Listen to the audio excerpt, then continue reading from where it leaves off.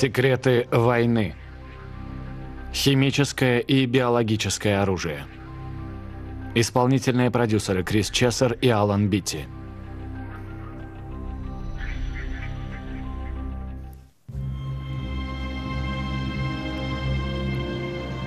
Бесшумная невидимая убийца. В один момент они могут решить исход битвы.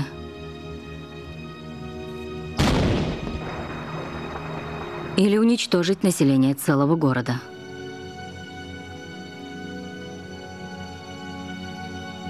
Среди опустевших зданий в самом воздухе витает смерть. Создание химического оружия, такого как зарин или природного вируса вроде оспы, требует немалых денежных затрат, но его так легко использовать.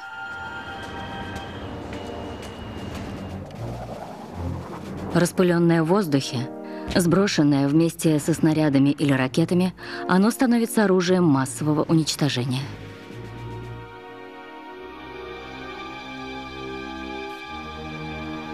Много веков назад, когда химическое оружие поразило своих первых жертв, оно было объявлено оружием трусов. Мировое сообщество неоднократно призывало запретить химическое оружие.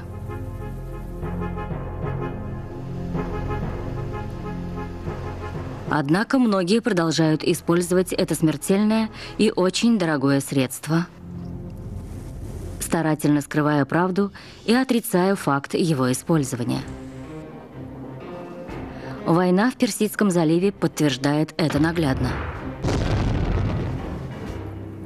В 1995 году правительство Ирака призналось в распылении ботулинического антитоксина и вируса сибирской язвы. Эти смертельные вирусы распылялись повсеместно в строжайшей тайне – Иракская программа ведения биологической войны тайна за семью печатями. Основываясь на сведениях, полученных за последние несколько лет, разведслужбы делают вывод, что Ирак мог бы уничтожить население Земли.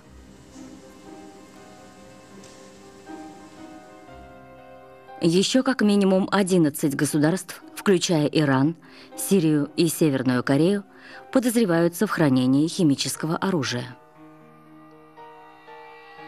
Насколько велики их запасы, узнать практически невозможно. Микробиология стремительно развивается, это обостряет проблему.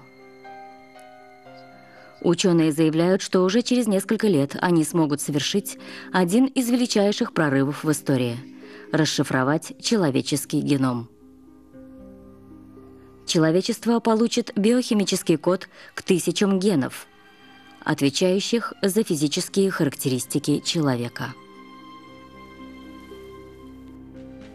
Можно сказать, что это знание, эти исследования помогут развить технологии, которые позволят людям стать более здоровыми, сильными и счастливыми.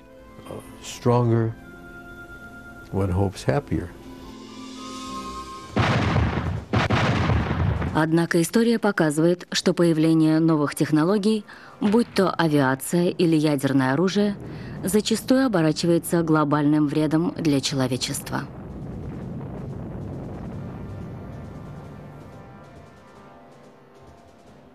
В 70-е 80-е годы 20 -го века советские ученые, разрабатывая стратегию ведения бактериологической войны, превращали вирусы в орудие войны.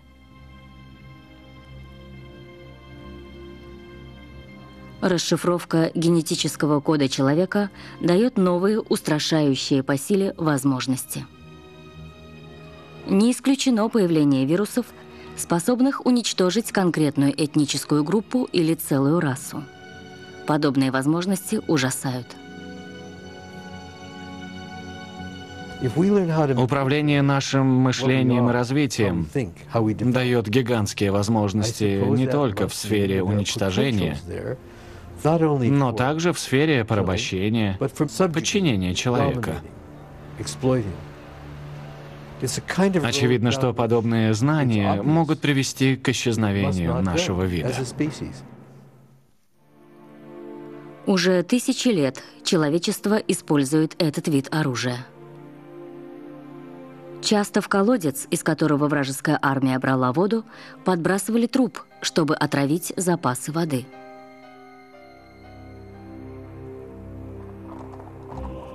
Концу 19 столетия на использование ядов в ходе военных действий наложили табу. Между вирусами и химическим оружием не делали особых различий. Использование обоих средств порочило воинскую честь. Табу на применение биологического оружия не нарушалось вплоть до начала Первой мировой войны.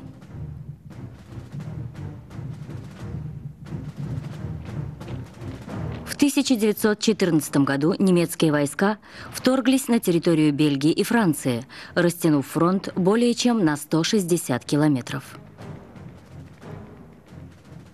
Первые шесть месяцев войны привели к устрашающим потерям с обеих сторон. Обе армии надеялись на победу. В январе 1915 года ученый-химик Фриц Хабер предложил начальнику немецкого генштаба Фалкенхайну использовать против вражеской армии отравляющий газ –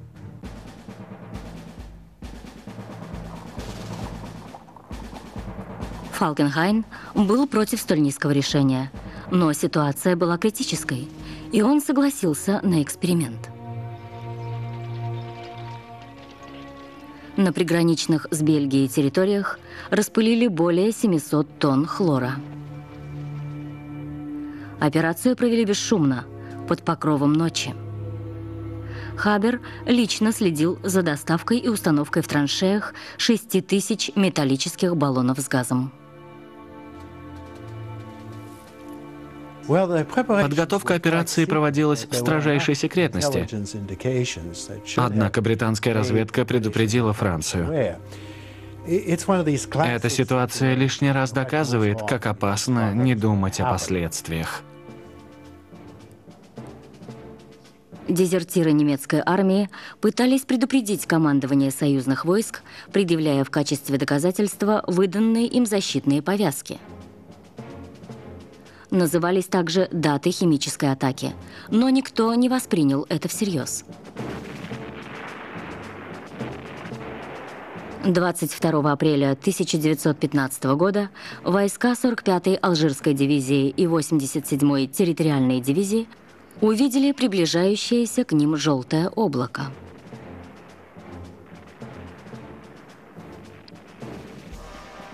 Окутанные туманом солдаты – хватались за горло и, корчась, падали на землю.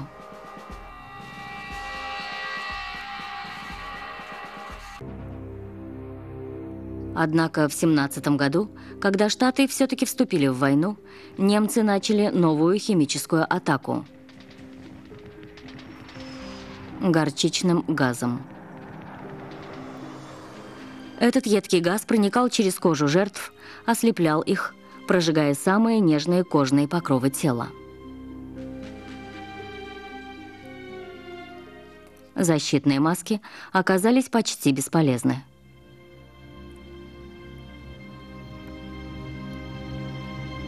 В этой западне химической войны американцы потеряли 70 тысяч солдат.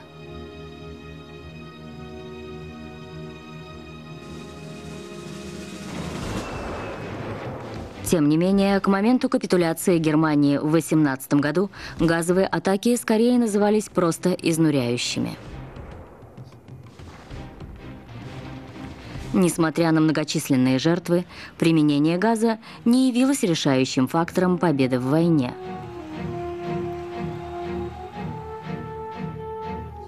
Однако теперь газовые атаки прочно ассоциировались с бойней на Восточном фронте. В результате в 25 году главы 150 государств подписали Женевский протокол, запрещающий использование удушающих и отравляющих веществ за исключением актов возмездия. Однако химическое оружие продолжало производиться и накапливаться в обход договора. Шли годы, а разработки нового биологического оружия почти не прерывались.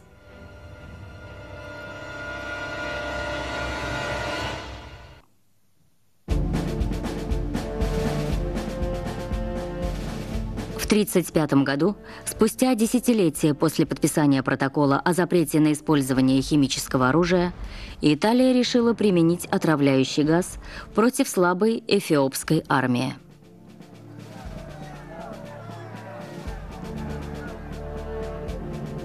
Впервые в истории химическое оружие угрожало Земле с воздуха. ВВС Италии распылили горчичный газ над эфиопскими войсками и мирными деревушками. В своей красноречивой речи перед Лигой наций император Эфиопии Хайли Саласия умолял мировых лидеров пресечь эти зверства. Однако ответная реакция Лиги наций была более чем прохладной. Были сделаны отдельные заявления, осуждающие действия Италии. Но серьезных мер не приняли. Все более реальной становилась угроза последующего мирового конфликта, огромную роль в котором отводили химическому оружию.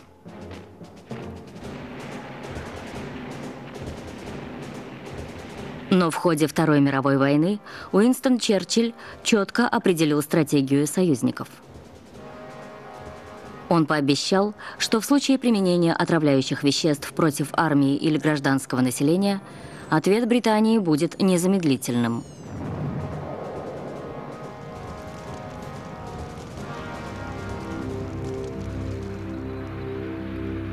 Гитлер также был против применения химического оружия. Подобный отказ Гитлера вызвал впоследствии много толков.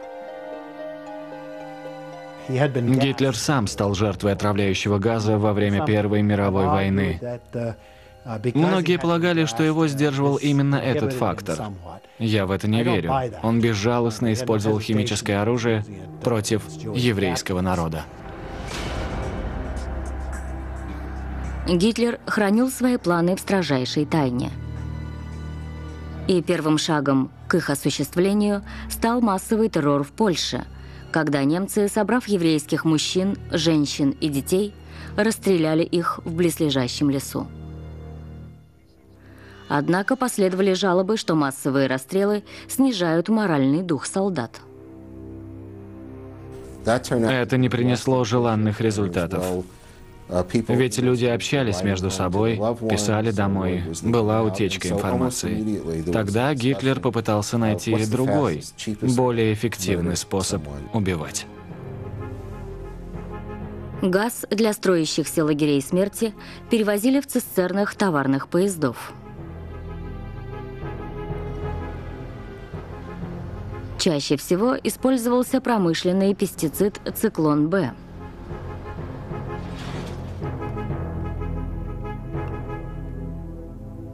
Эсэсовцы вели все переговоры с помощью сверхсекретных радиошифровок. Одновременно с этим британские криптографы старались расшифровать их код. В 1941 году, перед запуском первого лагеря смерти, британская разведка уже знала планы нацистов в отношении евреев. Об этом немедленно доложили Уинстону Черчиллю.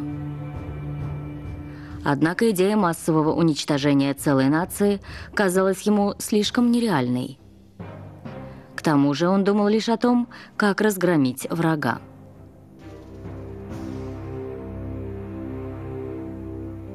В 1944 году сионисты обратились в Генеральный штаб США с предложением применять газовые атаки против немцев до тех пор, пока они не прекратят уничтожать еврейское население.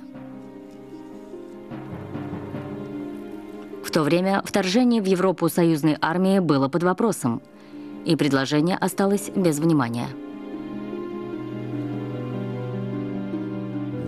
Это правда.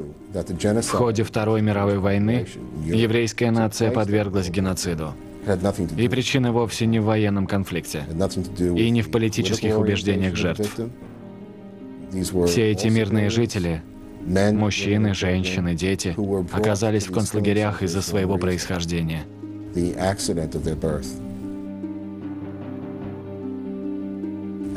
Я считаю действия фашистов самым настоящим убийством.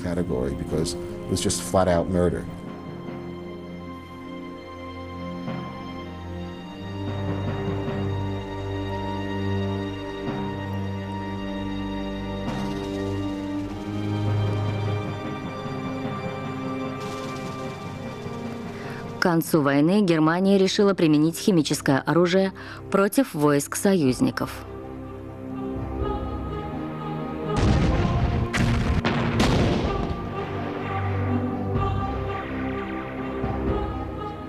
Гитлеру даже советовали использовать специально разработанный поражающий нервную систему газ «Табун».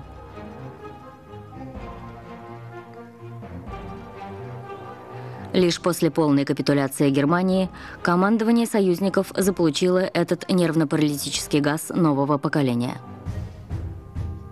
Всего один его миллиграмм полностью разрушал нервную систему человека.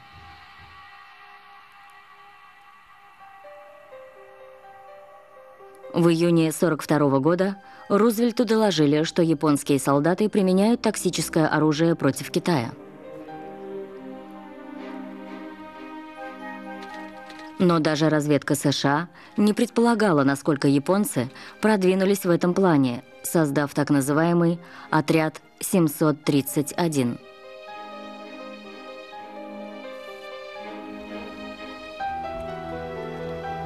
История отряда 731 началась в 30-х годах, когда японцы захватили Маньчжурию и Северный Китай. 1937 году японские захватчики превратили эти территории в полностью контролируемые колонии.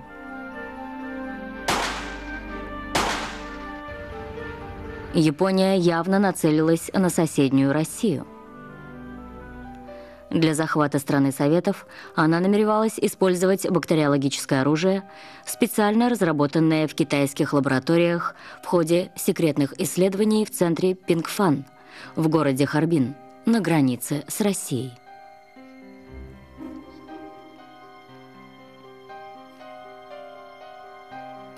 Соблюдая секретность, японцы выдавали лабораторию в Пингфане за лесопилку – Японцы проложили железную дорогу из Харбина к лагерю. И ночью в опечатанных вагонах туда доставлялись новые жертвы. Их никто не видел. За этим тщательно следили. Так что местные жители ни о чем не подозревали. План по разработке нового бактериологического оружия принадлежал микробиологу Широ Исии. Как и многие японские военные, Исии видел в пленниках лишь трусов, не способных выиграть битву. В процессе работы Исии действовал масштабно, используя помощь 20 тысяч ученых – и вскоре Пингфан и около 12 других городов превратились в лагеря смерти. В концлагере Пингфан японские ученые экспериментировали со множеством вредоносных вирусов, от сибирской язвы и желтой лихорадки до туберкулеза, сыпного и брюшного тифа, чумы и холеры. Ставя чудовищные опыты, ученые, как правило, не использовали анестезию – Жертвы японских концлагерей назывались Марутас. Они были сырьем, все равно, что бревнами или досками. И поскольку их не считали людьми, то все эксперименты, расчленение тел, неважно, живых или мертвых, Вакцинация ужасными вирусами, все это просто не поддавалось описанию и выходило за границы какой-либо человечности и гуманности humanity.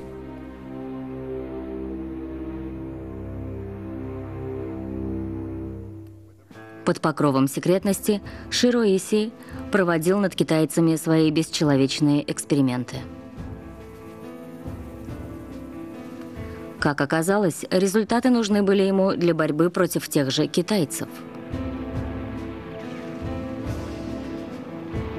Это первый в истории случай систематического использования биологического оружия в военных целях. Японцы тысячами истребляли жителей Китая, используя, например, инфицированных чумой блох, которые убивали десятки тысяч людей.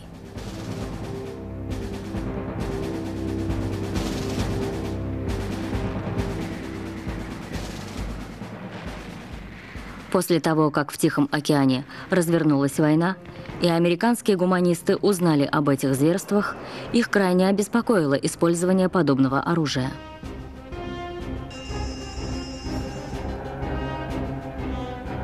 Америка готовила вторжение в Японию, операцию под названием «Downfall» – «Крушение», хотя военный секретарь Генри Стимсон опасался, что будет слишком много жертв. Среди сторонников химической войны был генерал Джордж Маршалл. Он считал, что газовая атака сильно поможет союзным войскам во время вторжения.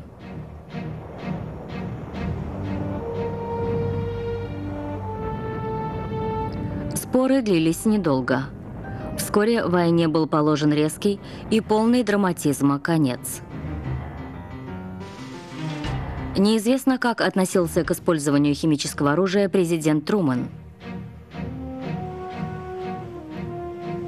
Вскоре американские войска узнали об исследованиях Исия и о его экспериментах, проводимых над людьми. Американские исследователи стремились заполучить данные ужасающих исследований Исия, прежде чем к ним подберется СССР. Генерал Дуглас МакАртур пообещал японским ученым защиту от судебного преследования. В обмен на это Иси передал все документы штатам. Ни один японский ученый не был осужден. О зверствах Японии не сообщалось в прессе. Эта страница была вырвана из книги «История». Соединенные Штаты преследовали свои цели, используя полученные данные в собственных химических программах. В исследованиях участвовали многие американские ученые. Это была возможность, ради которой они готовы были попрать этику и мораль. Возможность, ведущая к прогрессу. Мне кажется, большинство американских ученых руководствовалось именно этим. Поэтому им и были интересны результаты экспериментов на живых людях. Их интересовала эта информация. Тогда Америка взялась за разработку собственного биологического и химического оружия. Правда, впоследствии штатам пришлось дорого за это заплатить.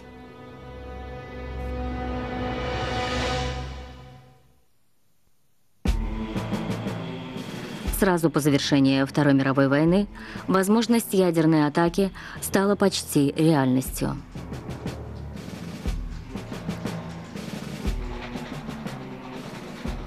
Железный занавес полностью изолировал Восток от Запада. Штаты опасались, что Советский Союз накапливает арсенал баллистических ракет – вот почему военные США резко ускорили разработки биологического оружия.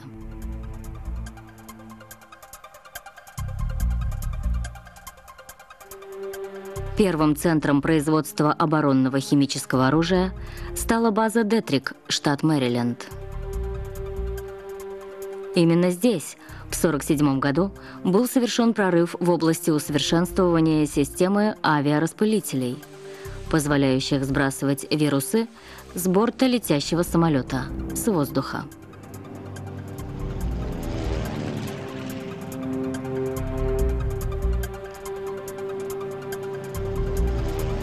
В 50-е 60-е годы военные провели ряд экспериментов, позволяющих распылять вирусы на огромные расстояния. Эти эксперименты проводили в более чем 250 населенных пунктах, включая Сан-Франциско, Сент-Луис и Миннеаполис. Сегодня эксперты признают, что эти опыты ставились на ничего не подозревающих людях.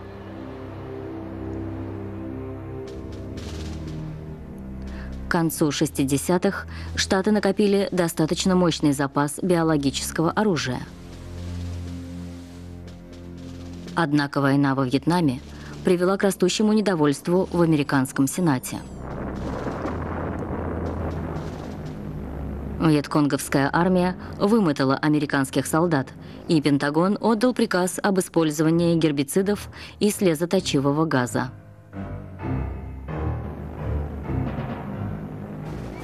В 1969 году над Вьетнамом распылили более 6 миллионов химикатов.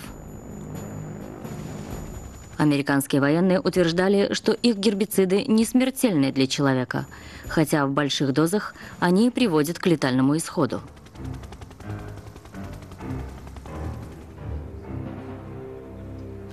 Тогда ООН приняла резолюцию, запрещающую использование гербицидов и слезоточивого газа. Некоторые члены Конгресса настаивали на сокращении финансирования бактериологических программ. Президент Никсон созвал группу ученых, чтобы обсудить планы США. Ученые обратили внимание президента на главные аспекты химической войны. Химическое оружие было недорогим и не требовало высоких технологий производства. Кроме того, использование этого оружия в качестве средства массового уничтожения позволяло держать в напряжении любую страну третьего мира. Надо признать, что продолжая заниматься этими разработками, мы как бы узакониваем их. Программа по наращиванию запасов оборонного химического оружия подтверждает его эффективность. Президент Никсон в 1969 году отреагировал быстро и недвусмысленно. Соединенные Штаты Америки отказываются от использования любой формы биологического оружия, приводящего к недееспособности или летальному исходу человека. Вслед за этим решением последовал международный договор, запрещающий не только применение химического оружия, но и его производство. Мировое сообщество наконец-то решилось искоренить возможность бактериологических войн. Однако за спиной США Советский Союз продолжал игнорировать соглашение о биологическом оружии. Русские приняли решение продолжать разработки и эксперименты. Повсеместно возникали новые исследовательские центры. СССР видел в этом огромные преимущества. Это было так важно, что уровень секретности был невероятно велик. По сути, эти программы были засекречены в сто раз надежнее, чем ядерные программы. Благодаря зондированию советских территорий США узнали о широкомасштабном производстве смертельных вирусов, над которым трудились более 60 тысяч ученых. Но западная разведка не могла предположить, что бомбы и межконтинентальные ракеты в любую минуту готовы разнести по всей Америке вирусы оспы, чумы или сибирской язвы. 1979 году около 70 человек, живших неподалеку от военной базы в окрестностях Свердловска, беспричинно скончались. Разве это не подтверждает тайную деятельность СССР? Тогда я работал на ЦРУ. Некоторое время я вплотную занимался этой проблемой. И могу лично подтвердить, что людей погубил вирус сибирской язвы. Однако Советский Союз объяснил это поставками испорченного мяса.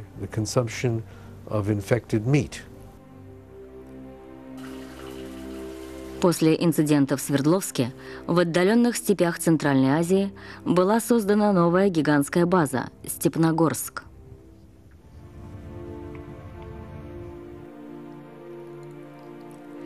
И когда в 80-м году в Москву прибыла группа западных инспекторов, начальник Степногорского комплекса Кен Алибек должен был утаить от них правду – Мы делали все возможное, чтобы убедить инспекторов, что здесь не ведутся разработки химического оружия. И чтобы скрыть истинное назначение нашего комплекса, мы сочинили ряд правдоподобных историй. По словам доктора Алибека, Советский Союз был убежден в том, что США также наращивают бактериологический потенциал – Однако после посещения в 1991 году аналогичного комплекса в штате Арканзас, Алибек понял, что это была всего лишь советская пропаганда.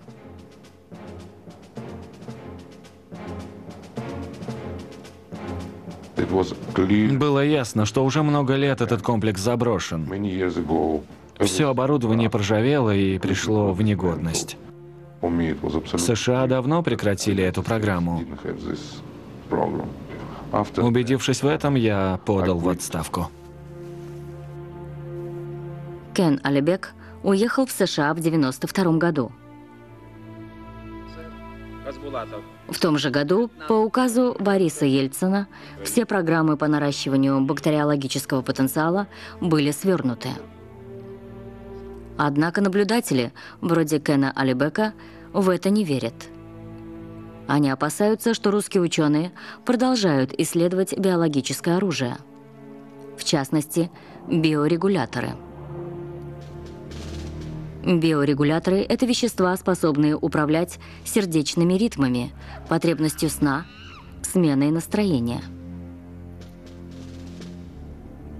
Но самое страшное в том, что русские могут использовать результаты секретных разработок не только в своей стране – но и продать их другим странам, таким как Ирак, которые только и ждут возможности создать свой бактериологический арсенал.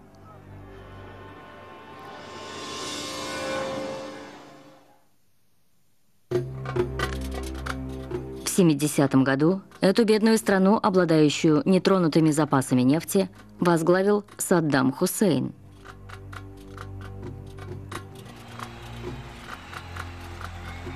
Уверенный в том, что пришло время возвысить арабский мир и изгнать из него колониальное присутствие Запада и еврейского народа, Саддам начал превращение Ирака в арабскую супердержаву. Он заключал секретные сделки, закупал танки, истребители и баллистические ракеты в европейских странах. Но после Хусейну пришлось отложить свой план.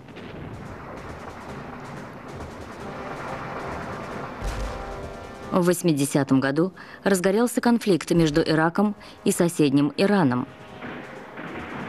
Войска Ирана предприняли массированные атаки. Иран обладал многотысячной, хорошо вооруженной армией. Ираку потребовалось оружие. Из всех средств Именно химическое оружие было самым недорогим вариантом. В изготовлении химического оружия массового уничтожения Саддаму помог опыт Западной Германии. На территории Ирака немцы построили заводы. Таким образом, Ирак получил возможность производить химическое оружие внутри страны. На протяжении войны между Ираком и Ираном страны Запада и США поддерживали Саддама в борьбе против Айталы Хамини и его исламской революции в Иране. В конце 70-х иранцы захватили в заложники 50 граждан США. В Штатах это восприняли очень болезненно. Иракцы терпели очевидные поражения, и когда в 1983 году Саддам начал использовать химическое оружие, Соединенные Штаты Америки и другие страны так и не решили, стоит ли препятствовать Ираку.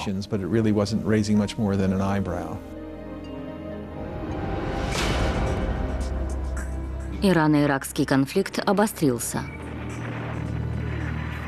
И когда в 80-м году Иран успешно атаковал один из курдских городов, Саддам немедленно отреагировал. Убежденный в том, что курды оказывают поддержку Ирану, он приговорил к смерти население целого небольшого городка.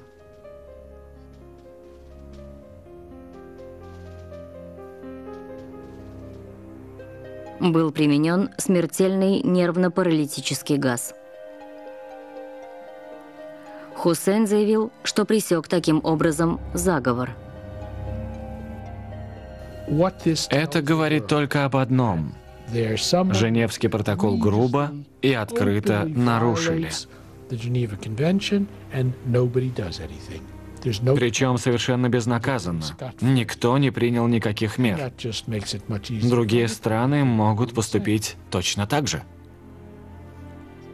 Из немецких источников разведка также узнала, что Ирак, возможно, разрабатывает такие вирусы, как сибирская язва –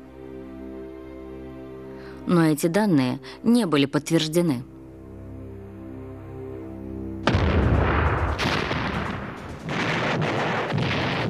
Зато подтверждение пришло с началом войны в Персидском заливе в 1991 году, когда американские солдаты подверглись химическим атакам. Проиграв войну в заливе, Саддам Хусейн, будучи побежденным, согласился предъявить все ядерное и бактериологическое оружие и уничтожить его.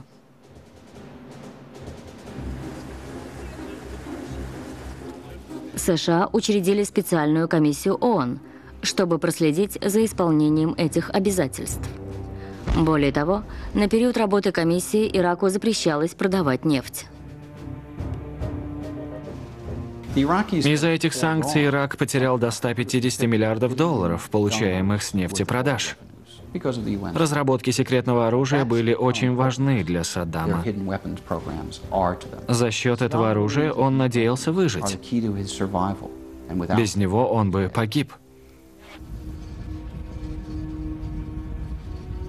В 1995 году ООН удалось добиться успехов в расследовании действий Ирака, задержав взятие Саддама генерала Камаля. Допросив его, инспекторы узнали о тайнике, где хранились документы, подтверждающие создание Ираком биологического оружия.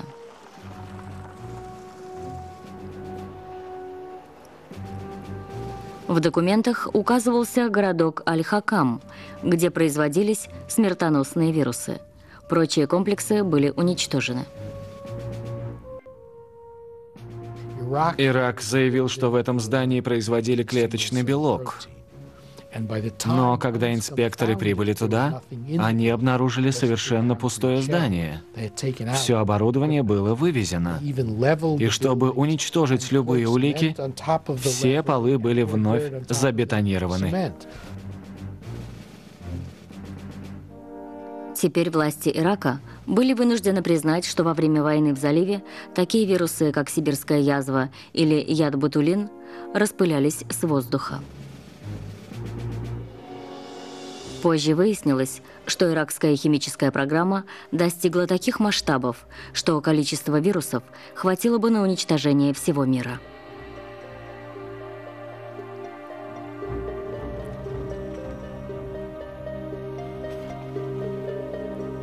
И хотя Саддам Хусейн обещал рассказать правду о производстве оружия массового поражения в Ираке, многое неясно до сих пор.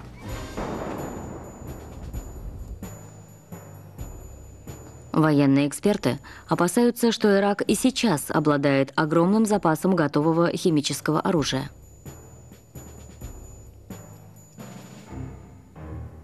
Несмотря на это, продажи иракской нефти возобновились. В 1998 году инспекторы ООН были высланы из Ирака.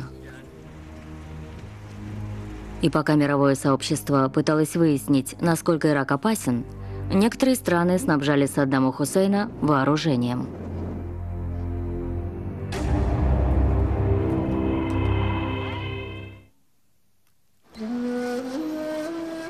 В 90-х годах тайная японская организация под названием Аум Синрикё заговорила об уничтожении газом всего человечества. Но поскольку японские спецслужбы не относились к этим угрозам всерьез, строгих мер принято не было.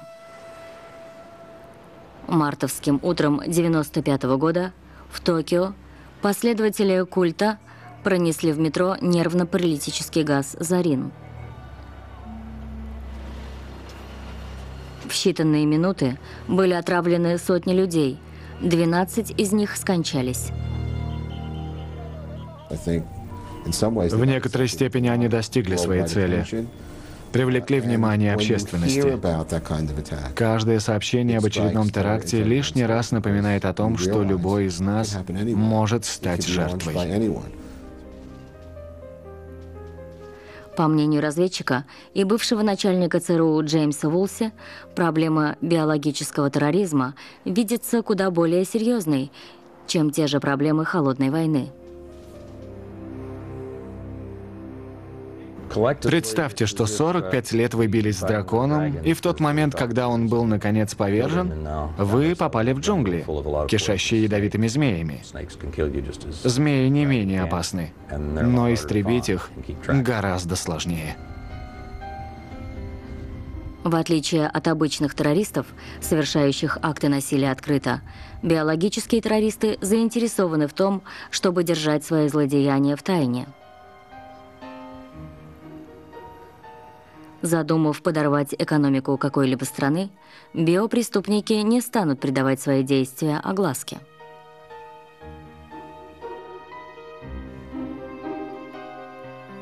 Они будут осуществлять контроль над нужными им процессами. И чем дольше действия преступников останутся тайными, тем им лучше. Для достижения целей им необходима секретность.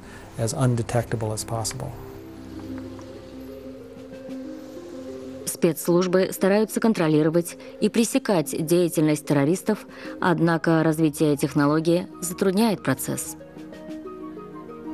Все больше людей во всем мире используют интернет как источник общения. В этом есть и плюсы, и минусы. И все только начинается. Впервые мы столкнулись с такой ситуацией, когда террористы, экстремисты и прочие асоциальные личности активно внедряют свои идеи в массы и вкладывают в это огромные средства. Буквально 7 дней в неделю, 24 часа в сутки.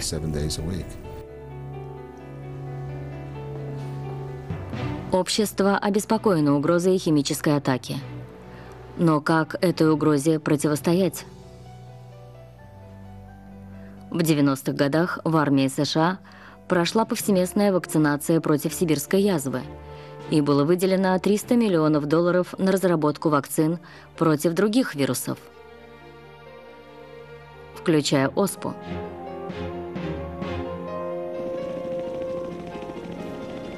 По всей стране проводились боевые учения – как действовать в случае химической атаки.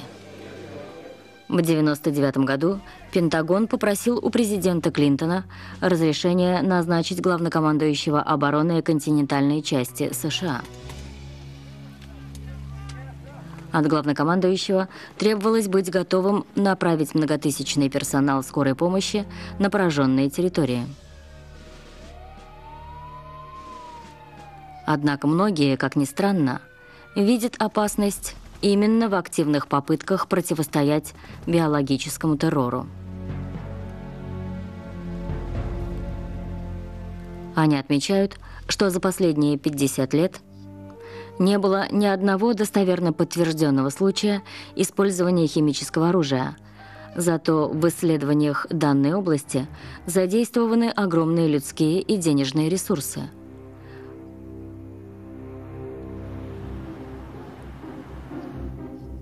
Не исключено, что своим преувеличенным стремлением обезопаситься Штаты только привлекают внимание террористов.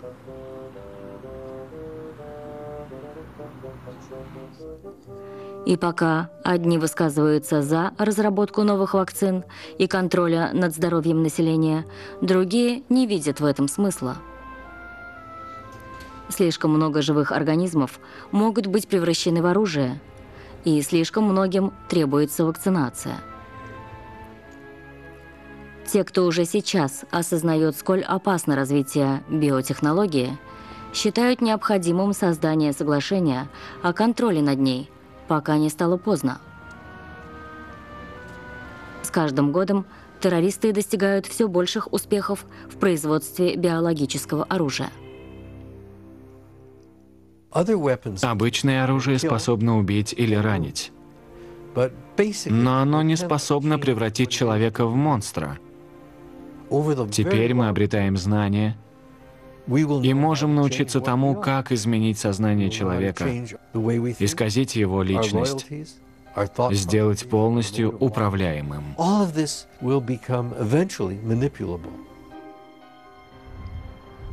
Единая экономическая система и быстрая связь стали характеристиками современного мира, который теперь столкнулся и с общими экологическими трудностями. И тот факт, что биологические разработки могут попасть в плохие руки, заставляет нас думать о безопасности.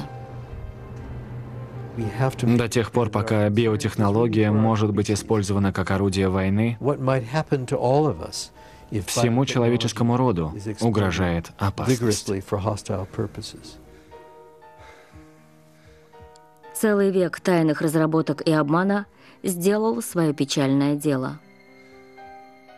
Биологические войны перестали быть угрозой для отдельных стран и народов. В последнее время ученые достигли больших успехов в изучении человеческого гена – это дает огромные преимущества всему миру. Главное – помнить об ответственности. Возможно, 21 век даст нам необходимые знания об успешной защите от смертельного и невероятно мощного биологического и химического оружия.